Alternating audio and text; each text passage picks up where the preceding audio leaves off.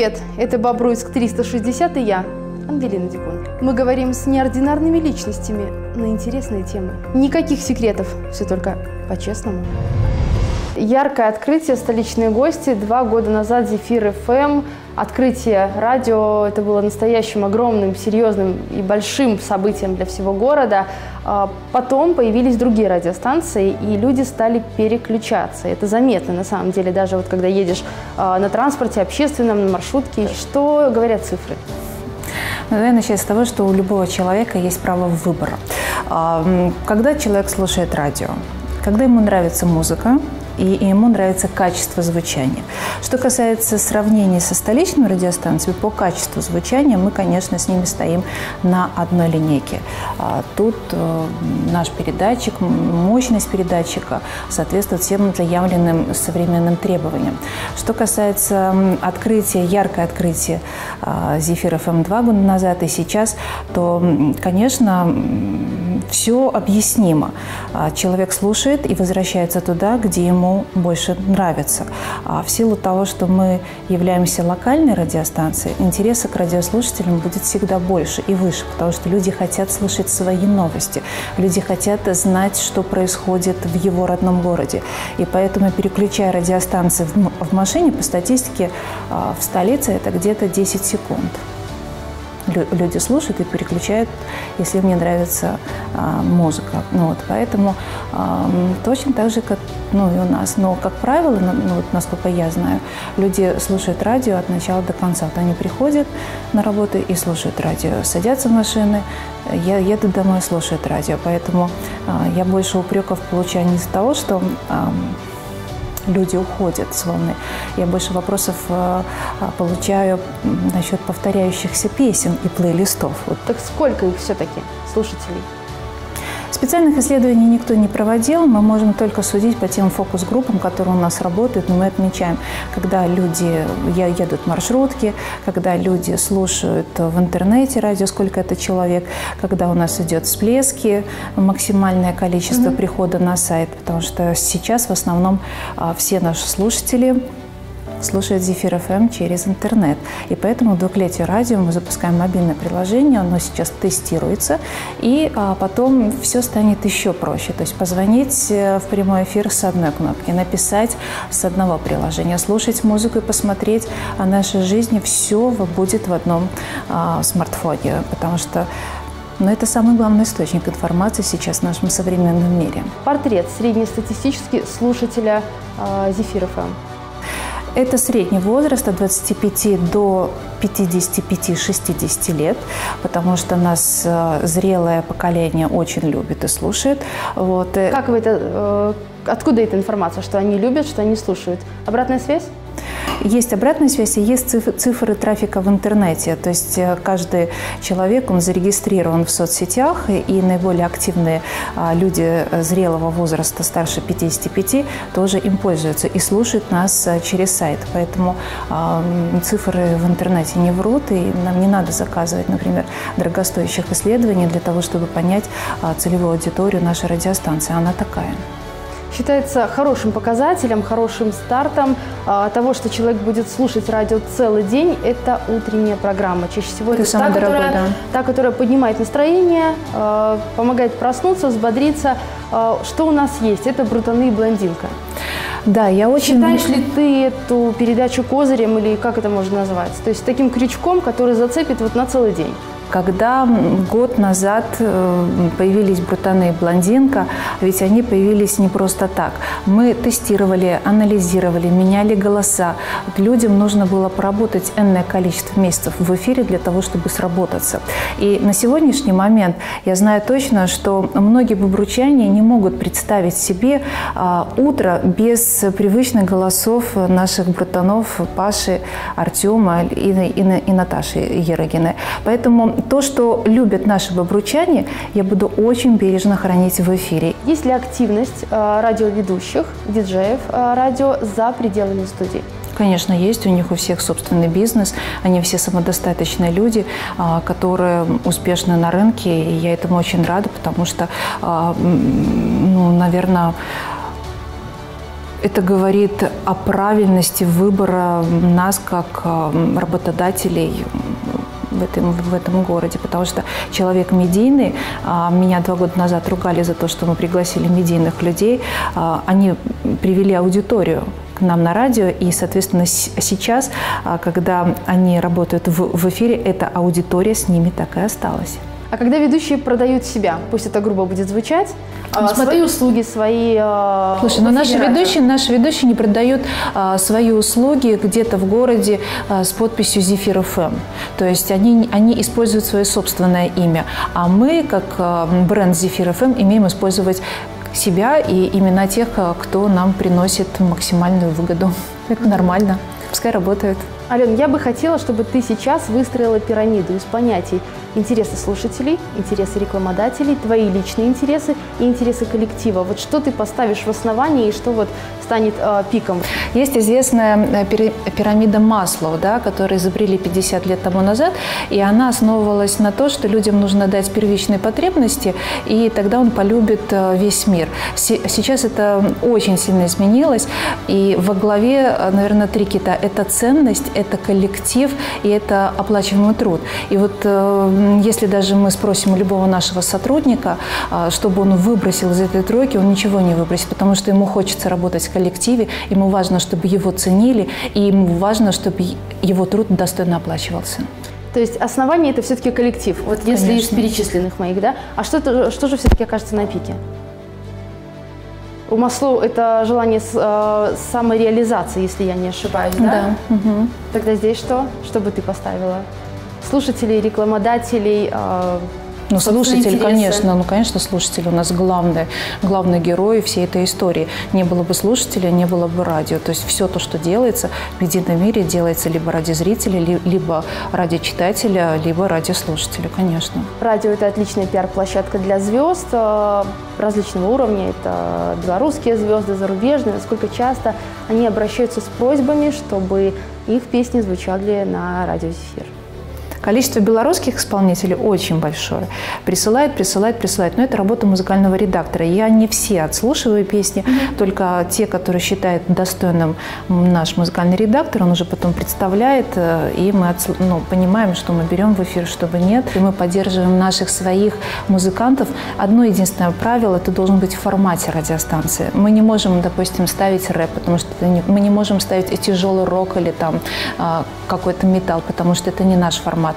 Но если песня достойна и она соответствует, мы с удовольствием ставим. Ты не, даже не представляешь, какое количество писем приходят с просьбой поставить э, свою композицию э, в эфире. Это работа музыкального редактора, который отслушивает все, потом предлагает э, уже на, на мой суд выбрать то, что мы можем поставить. Ну, наверное, из тех, кто приходит сразу на ум, это Ваня Пономарев, да, это Руслан Олег, но это наши бобручане, местные, кто еще? Виталий Гордей, конечно. Угу. Это «Земля королевы мод», которую зимой принесли нам новогодний трек, который соответствовал абсолютно всем нормам, был записан, и ребята рассказывали про то, как им помогали ребята из соседних стран и выпустить свой продукт. Если ты не делаешь свой продукт качественно, вот, у тебя нету шансов. А все наши бобруйские ребята – это какой-то такой маленький круг, маленькая такая музыкальная семья, которую мы стараемся поддерживать. И очень просто спишется соглашение о совместном каком-то мероприятии, которое позволяет нам активно рекламировать того же самого Ваню Пономарева и поддерживать его на площадках. А как по-другому? Зато какая гордость. А потом, когда смотришь, что они занимают лидирующие места в хит-парадах, и ты приложил хоть небольшую, но толику участия и рассказал об этом, и это же здорово. Или нет, они будут уезжать в другие города и рассказывать про то, что Бобруйск их не признает, не приглашает, но это нормально, это не патриотично, это вообще считаю нарушением всех допустимых правил. Мы будем поддерживать абсолютно всех наших музыкантов. Мои наблюдения, возможно, я не права, а, все-таки по формату на Зефир ФМ звучит попса, звучат хиты 90-х, звучит шансон, э, рэп, рок, я не буду сейчас ручаться за это, да. То есть мы пытаемся угодить всем слушателям. Но э, формат изначально был 70 на 30, 70 русской музыки и 30 зарубежной. И потом, опять-таки, когда проходит определенное количество времени, и ты слышишь фокус группы и мнение бабручан, mm-hmm. ты понимаешь, что можно потихонечку что-то менять. И у нас сейчас 50 на 50. 50% русской, 50% иностранной. Причем есть четко выверенное время для наших любимых водителей, вечерние, где звучат евро, еврохиты, и они очень счастливы, потому что таксисты, которые ездят по улицам нашего города, постоянно на правильной и нужной волне находятся. Вот вечером это более спокойная музыка, mm-hmm. поэтому ну там есть четкие правила, и их невозможно не соблюдать. Вот. Поэтому музыкальный формат это это визитная карточка любой радиостанции. Почему нет белорусского языка? Почему нет передачи на белорусской мове? Это твоя позиция или просто не было предложений достойных на Зефир ФМ? Слушай, ну для меня а, либо белорусские, либо русские. Вот когда идет смешение а, двух языков, оно не приведет э, к какому-то хорошему результату. То есть изначально мы выбрали русский язык, потому что он такой же государственный язык, как и белорусский в нашей стране. Если у меня будет возможность э, со временем э, в Бобруйске открыть еще одну радиостанцию, то, возможно, мы ее сделаем исключительно на белорусском языке. Я не против. Люди, которые говорят красиво и умеют говорить на этом языке, ну, большое количество. И спикеров мы можем приглашать. И я тебе скажу честно, что когда к нам приезжают гости, гости мы всегда спрашиваем, на каком бы вы языке хотели общаться в эфире. Mm-hmm. И по процентов, я тебе скажу, процентов 10 пока только выбирать белорусский язык, все остальные общаются на русском. За два года было все, а, ребята уходили, талантливые ребята, очень толковые ребята.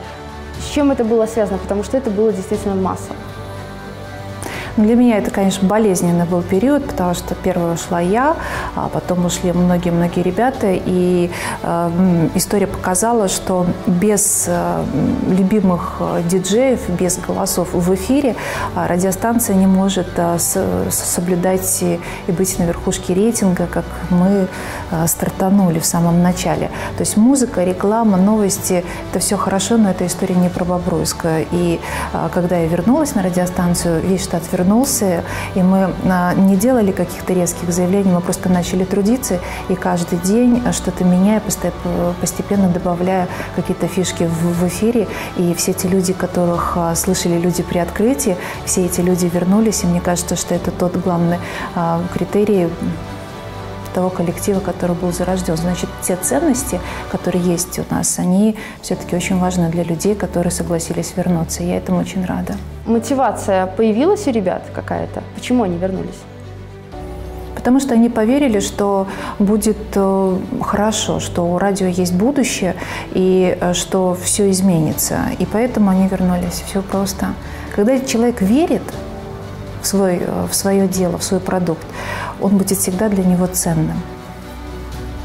На, на, наше дело заработать и, и оплачивать достойно это дело. То есть в самом начале это вопрос материальный стоял? Я так понимаю? Нет. Нет? Нет. Тогда другой вопрос. Причина для всех была одна? Или у всех личные обстоятельства и какие-то свои моменты, которые побудили? Люди Кто-то захотел столицу, кто-то потерял действительно интерес да, или мотивацию у любого коллектива, любого ну, предприятия должна быть сверхидея, своя миссия, ради которой все собираются. У нас э, наша главная цель – это работа на радиостанции, которая только-только появилась в нашем городе. И отсутствие э, мотивации у сотрудников, она обуславливается несколькими факторами, вот, о которых, в принципе, может, и не стоит сейчас говорить, чтобы не ворошить прошлое. Но количество людей, которые будут уезжать переезжать в другие города, они тоже будут оставаться. Всегда будут такие люди, которые захотят чего-то больше выйти из, из-за рамок одного города. Они будут уезжать, переезжать. Я знаю, что заметила? Я заметила другое. А, количество людей из Минска, которые сейчас звонят нам, оно превышает количество людей, которые пытаются устроиться на радио в Бобруйске. Я задаю вопрос, Почему вы хотите из Минска приезжать и работать? На что мне следует вполне себе правдивый ответ, а, что вы вот позиционируетесь какой-то очень классной площадкой и базой, школой, после которой любая столичная радиостанция всегда берет на работу. У нас несколько ребят так уехали, они сейчас э, звучат на столичных радиостанциях, и не потому, что им стало у нас скучно, а потому, что у них так сложилась жизнь. Зефир ФМ многие считают рупором власти. С одной стороны, логично, да, то есть кто платит, тот и заказывает музыку. Как на самом деле обстоит дело? Что, что мы делаем и кем, мы явля... кем вы являетесь? Послушаем. В уставе любого средства массовой информации, будь то телеканал, газета, радио. Возьмем любую страну, CNN в Америке, BBC а, в Британии, Аль-Джазира. У них четко написано, что эти средства массовой информации отображают точку зрения своей страны, на территории которой они работают. Почему мы находясь на территории Бобруйска, да, не имеем права отображать точку зрения нашего горисполкома. Ведь там трудятся люди, которые делают а, многие проекты, и они доносят через нас самое главное – Поэтому э, мы всего лишь э, соблюдаем главное правило э, журналистики. Мы объективны, и мы оперативно должны донести информацию, которую должны слышать наши побручане. Поэтому я не вижу ничего плохого в том, чтобы тесно сотрудничать с нашими властями. Обеспечиваете ли вы обратную связь? То есть может ли слушатель э, посредством радио обратиться к представителю власти? Ну, смотри, что происходит. Да? А, есть мэр, председатель Бобруйского горисполкома. И есть чиновники на местах, в ЖЭО, на районах. Мы являемся связующим звеном. То есть если один нерадивый чиновник допустит ошибки, которые приведут к ряду проблем, вызываемые у наших горожан, что делают горожане? Они начинают жаловаться, они начинают звонить. Наша задача какая? Мы должны перезвонить, уточнить, является ли это, и приехать и посмотреть. То есть мы приехали и увидели, мы приехали и спросили. Понимаешь? И то есть у мэра график расписан вот такой. К нему попасть на прием, ты сама знаешь, очень-очень сложно. И поэтому он не знает, что делают его, возможно, где-то нерадивые а, сотрудники на своих местах, и происходят такие проблемы. И мы, рассказывая, разворачиваем власть к тому, что они видят, какие проблемы есть у наших горожан. Не каждая проблема стоит огласки. К счастью это или нет, иногда их можно решить напрямую, обратившись к, тем же представителям власти. Ну, если они не нуждаются в нашей поддержке, то и знают, что эта проблема будет решена, так это же хорошо. Это значит, статус доверия к властям очень высокий, это правильно. Но здесь немножко идет э, другой аспект. Сразу звонят нам, а только потом идут к властям. То есть немножко наоборот, искаженное понятие. Ну, вот видишь, о том, сейчас чем, все... чем занимается СМИ и чем занимается... Сейчас все трансформируется. Вот те, э, эти самые fake news, да, они перевернули мир. И если до сих пор не, не знают, как с ним бороться, а, в любом случае мы увидели другие направления, потоки, которые позволяют нам формировать новые медиа. И они сейчас такие. Мы связующее звено между властями и между жителями нашего города в принципе, реально ли. Э, создать передачу, где сам председатель Бобруйского горисполкома будет общаться со слушателями. Вот прямая линия. Я думаю, что она будет очень важна на телеканале, когда будет возможность э, радиослушателей звонить, вот честно, когда люди видят, э, как человек реагирует, что он, э, что он решает прямо здесь и на месте. А, поэтому в радио немножко проще прийти, рассказать. Он бывает раз в год. У нас, я считаю, это абсолютно нормально, потому что помимо нас у него еще весь город. Ты представляешь, сколько это у него предприятий, да, график очень большой. И тем не менее, я знаю точно, что он никогда не отказывал в наших запросах. Ну вот это предложение я озвучила не просто так, подводя к новому сезону. Все-таки э, помимо мобильного приложения, что еще в планах? Мы будем просто э, сейчас работать, э, привлекать новые проекты, анализировать, тестировать их. Те, которые останутся и полюбятся нашим слушателям, они останутся в эфире. Я против сейчас резких смен сезонов, форматов и всего остального. Ведь от смены оболочки суть не меняется, а суть и внутри это делаем мы ежедневным своим трудом. Поэтому, если будут приезжать и приходить новые голоса, голоса, мы будем с ними общаться. Ну, ты смотри, мы всегда открыты, везде наша реклама. Приходите, пожалуйста, пробуйте. Ведь совершенно не важно, какой ты профессии, совершенно не важно, сколько тебе лет. Если у тебя есть желание, то ты всегда добьешься и всегда научишься. От чего мы откажемся в перспективе? Есть ли какие-то уже пунктики, которые слабое звено и все-таки стоит исключить с цепочки? Я бы, наверное... Программы, голоса, проекты, идеи, которые когда-то были э, на пике популярности, могли стать да, э, козырями. Сейчас они... Слушай, нормально, радио – это бизнес да, и если а, мне будет проект приносить э, и предприятию нормальные деньги, а, его будут покупать, то он будет, конечно, в эфире до того момента, пока он не выработает весь свой ресурс. И поэтому говорить о том, что я бы отказалась, я бы отказалась, например, от э, многих э, новостей.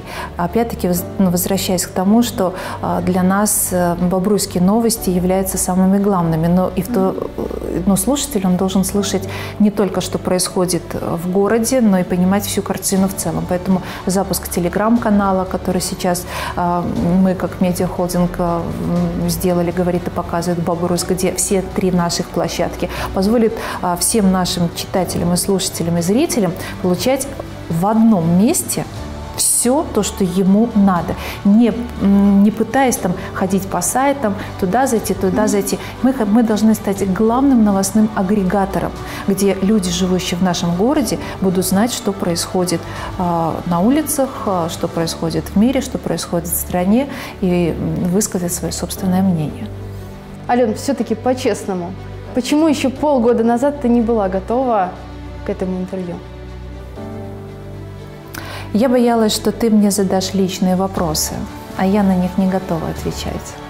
Ну вот. А говорить про радио я готова часами. Говорить про свою любимую работу я тоже готова сутками. Поэтому я рада, что сегодняшний формат э, не подразумевал неудобных вопросов без тех людей, которые э, должны бы быть тут находиться. Вот. Поэтому за это я тебе хочу сказать большое спасибо.